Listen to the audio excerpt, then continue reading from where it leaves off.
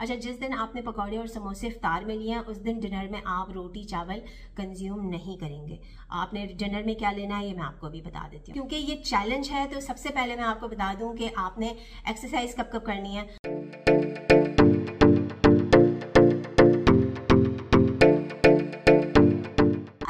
Welcome back to my channel this is doctor Sadia Shaikh highly requested video है आज का, और इस रमदान में आप लोगों को देने जा रही हूँ up two ten K Gs weight loss challenge और चैलेंज मैं आप लोगों को इसलिए दे रही हूँ क्योंकि आपके लिए आसानी हो जाए वज़न कम करने में।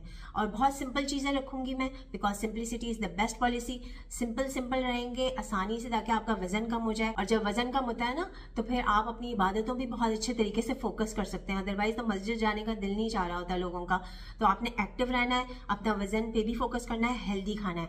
और जो चीज़ें मैं आप लोगों को बताऊँगी ना, इसके अंदर कोई प्लस माइनस आपने नहीं करना है। इसको एज इट इज़ फॉलो करेंगे तो आपको आसानी होगी। बहुत ही बजट फ्रेंडली है पॉकेट फ्रेंडली है ये रमदान डाइट प्लान चैलेंज और ये सबको करना है, सबको फॉलो करना है। और वो खातन जो चाहती हैं कि उनके हस्बैंड्स उनको बहुत अच्छे तरीके से हैप्पी मूड में शॉपिंग कराएँ। ये ना कहें कि मैं तो थका हुआ हूँ, मेरा तो अभी पेट बहुत ज़्यादा भरा हुआ है तो बिल्कुल दिल नहीं चाह रहा कहीं जाने का। बल्कि वो खुद कहेंगे कि, बेगम, तुम्हें कौन से मॉल जाना है? कितने सूट्स खरीदने हैं? अगर आप ईद की शॉपिंग करना चाहती हैं हैप्पी हैप्पी होके आपके हस्बैंड भी हैप्पी मूड में आपको लेके जाएँ तो आपने उनको ये रूटीन फॉलो कराना है, ठीक है?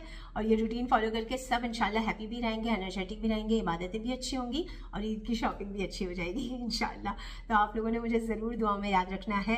तो चैलेंज करते हैं स्टार्ट अच्छा जी, क्योंकि ये चैलेंज है तो सबसे पहले मैं आपको बता दूँ कि आपने एक्सरसाइज कब कब करनी है। आपने डिनर के बाद आपने तरावी प्रेयर पर जाना है और तरावी की नमाज़ पढ़ने के बाद आके आप एक स्मॉल कप ब्लैक कॉफ़ी का लेंगे और उसके बाद आपने थर्टी टू फोर्टी मिनट्स की वॉक करनी है या फिर जिन लोगों को जिम जाना है, वो जिम जा सकते हैं। और हफ़्ते में तीन दिन आपको हिट एक्सरसाइज करनी है, वो किस टाइम करनी है?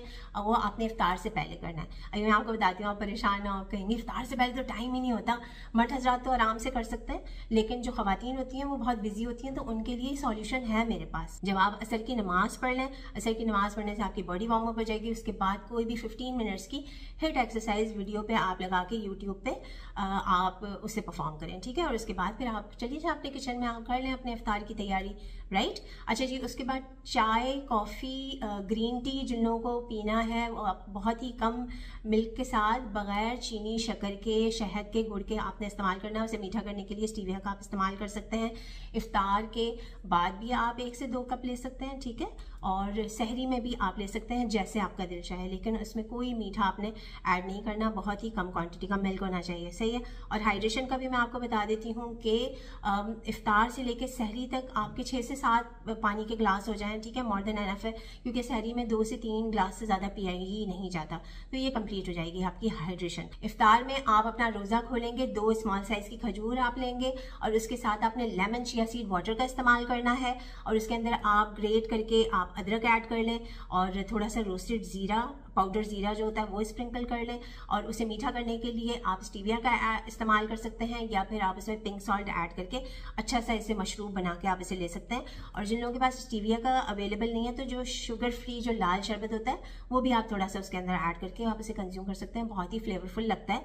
और उसके बाद आपने डेली आपने चना चाट का बोल लेना है। चने फ्राइड नहीं होने चाहिए। बहुत सारी सी वेजिटेबल्स ऐड करके जो बॉयल चने होते हैं, उसके अंदर लेमन स्क्वीज करें। थोड़ा सा आप उसमें दही भी ऐड कर सकते हैं उसे क्रीमी बनाने के लिए और चाट मसाला ऐड करके आप ये बोल आप कंज्यूम कर लें और उसके साथ आपने एक मीडियम साइज़ का फ्रूट लेना है एप्पल ऑरेंज आड़ू, नाशपाती किवी फ्रूट अमरूद, इन सब फ्रूट्स का आप इस्तेमाल कर सकते हैं। और हफ़्ते में दो से तीन दिन आप जो है वो तीन से चार जो कटे हुए फ्रूट होते हैं, उसकी जो चाट, बना के फ्रूट चाट, आप उसे भी आप इस्तेमाल कर सकते हैं। उसके अंदर आपने कोई क्रीम चीनी, शरबत, कोई चीज़ उसे मीठा करने के लिए उस फ्रूट चाट में ऐड नहीं करना। उसमें लेमन स्क्वीज करें, चाट मसाला ऐड करें और उसके अंदर भी आप दही डाल के थोड़ा सा उसे क्रीमी बनाने के लिए दही डाल के आप उसे खा लें तो बहुत ही फ्लेवरफुल लगता है। स्ट्रॉबेरीज का भी आप इस्तेमाल कर सकते हैं, ठीक है?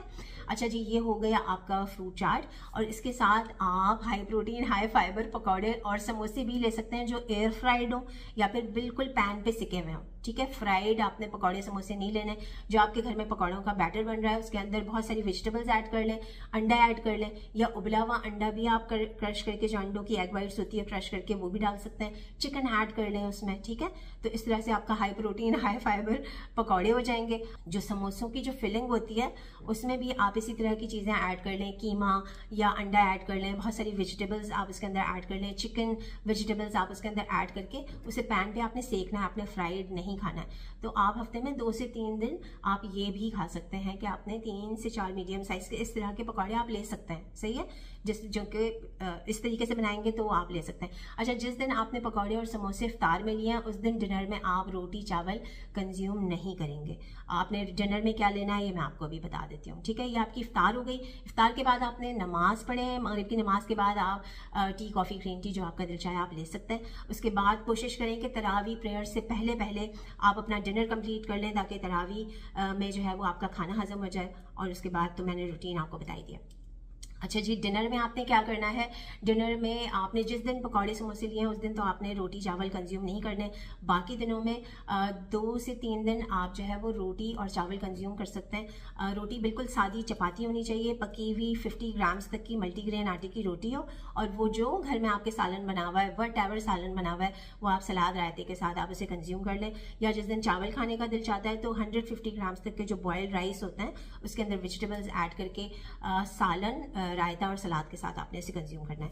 बाकी दिनों में आपने क्या खाना है, जो बहुत ही माइंड ब्लोइंग रेसिपी है, जैसे मैं सब्जियों का हलीम कहती हूँ, और उसमें आपने ओट्स या तो जौ का दलिया हो, या फिर गंदम का दलिया हो, जैसे हरीस नहीं होता, हरीसा जो होता है, वो आप बना के खाएँ, उसके अंदर आप उसे कुक कर लें कुक करके आप उसके अंदर थोड़ी सी दालें ऐड कर लें मीट का ऑप्शन आप ले लें उसके अंदर बीफ मटन चिकन जो आपका दिल चाहता है, आप उसे ऐड कर रहे हैं, सब्ज़ियाँ उसके अंदर ऐड करें।